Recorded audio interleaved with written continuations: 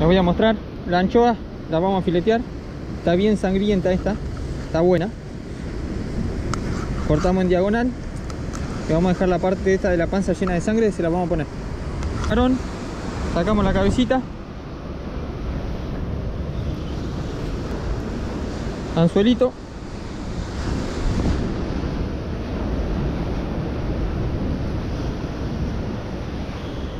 Y le vamos a poner la parte de la panza llena de las vísceras y la sangrecita, se la vamos a poner acá.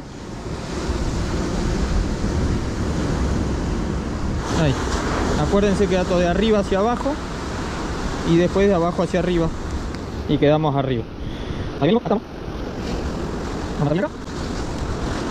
Vamos a cortar arriba. No sé si ven, queda todo ensangrentado, el camarón y la anchoa por afuera y la muerte siempre que quede ahí.